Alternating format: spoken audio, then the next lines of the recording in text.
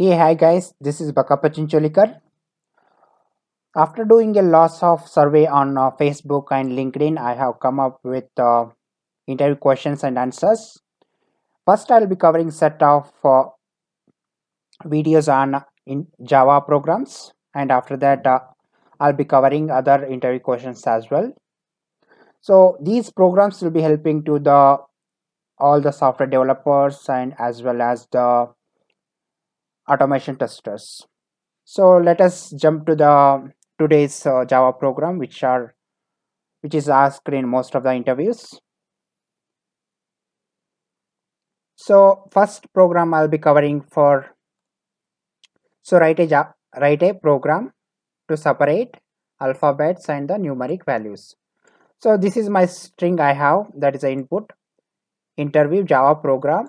So in each of the word at the end of the word I have added one simple numeric values that is 0 1 and 2 3 4 and after that I have added 5 6 7. So basically this is my input and how your output should be look like is so it should be separated by this is my alphabets although i mean the words and after that one more string will be getting with all this 0 1 and 2 3 4 and 5 6 7 so this is the alphabet. We will be getting it after uh, separating the this particular string. This is the first output and one more output will be getting it as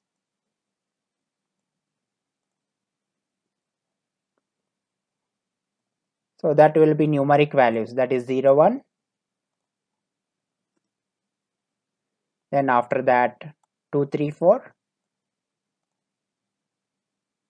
after that it is going to print us the another three digits that is 567 so this will be our first output and after that one more output is all numeric values. So let us jump to the eclipse ide so here what i have done is i have created created a simple uh, maven project. Under that i have created one more project. Sorry one one more package that is called com.programs.interview java programs. So quickly i will create one simple java program with the main. So here i'm creating one simple java class. So here i'm going to select this particular uh, public static void main. Then after that i'll mention the java program name. So here i'm mentioning interview java program 01 so that's it. Click on finish. So let me maximize this.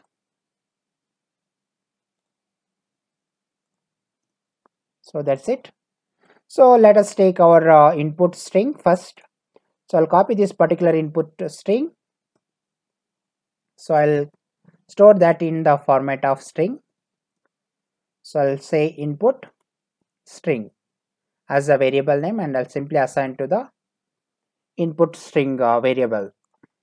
That's it.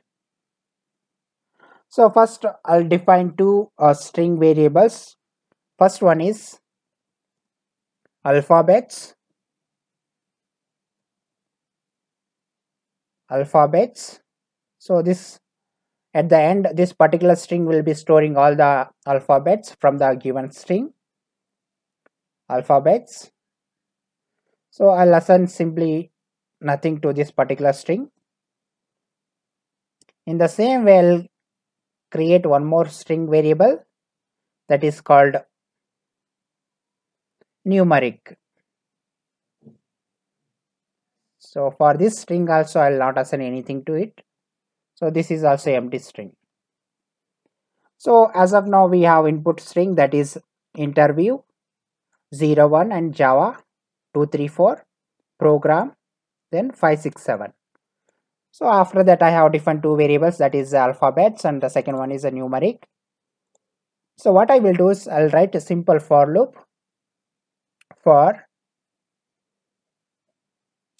so this particular for loop is for just to iterate this particular all the string string values. So what i'll do is i'll write simple int i is equal to 0 then i less than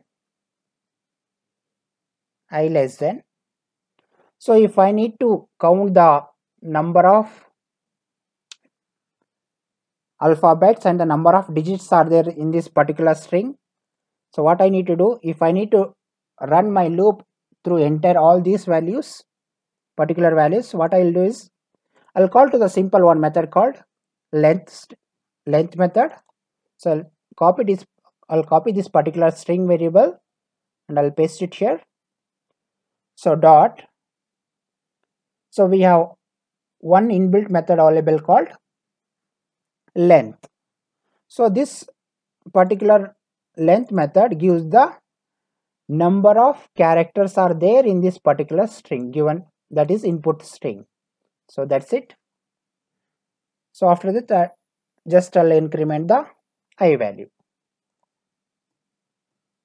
So this particular for loop will be running starting from this i and it will end in this particular 7 that is a numeric value. So that's it. So once this particular sorry once this particular loop is running through this input string what I will do is I'll simply take this particular input string. I'll call to the one more method called charAt. So this particular charAt method it accepts the argument as an index. So what I will pass here is simply I will pass the this particular i variable. If I pass the i variable so this is going to return as the character every time. Say for example first whenever the i value is 0 so it is going to point i. So whenever the i value is whenever i, I value increments so it goes to the i value is equal to 1 so it points to the n. And whenever the i value increments so that time i value will be 2 so it points to the t. So like this it points to the every single alphabets or a numeric value in this particular input string. So what i will do is whenever i get this particular index value based on this index we are going to get this particular characters from this input string. So i'll store that into the char type. So that's it. So this particular ch variable it is going to hold each and every characters from this particular input string. So by using that i'll write one a simple if condition here if. So i'm using here one inbuilt class that is character. Character dot is digit. So if you look at here, is digit is already existing method. It accepts the character type of argument. So I'll click on that particular method. So what I'm saying here is I'll pass this particular character here in the argument. If character, so whatever this particular character ch variable contains, if if it is particular ch is a character then simply it you can add to the this particular variable. So what i'll say is i'll add to the ch then i'll simply assign back to the numeric string variable. Then if it is not a string whatever you are getting this particular ch variable value so that will be your alphabet right? So that's the reason. In the else part I'll write to the I'll add to the numeric I mean the sorry not a numeric it is the alphabets.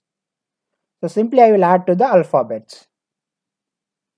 Then I'll assign to the alphabet variable that's it. So our job is done this much only.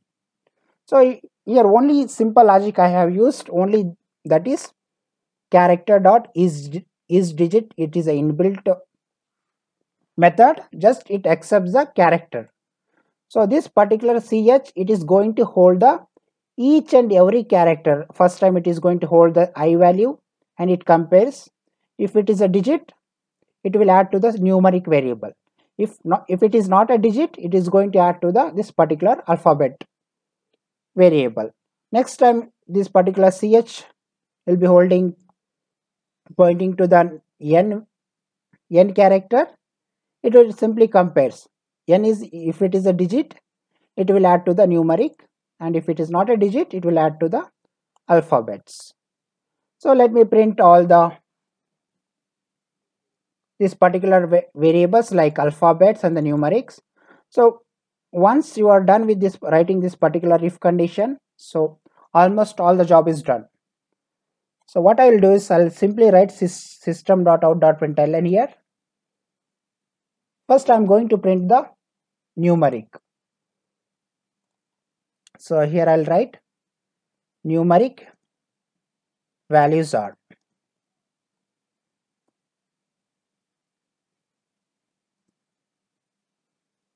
simply I'll write just I'm printing on the screen that's it. So this particular system.out.println it will be using for the printing on the your console output. In the same way I'll print alphabets as well.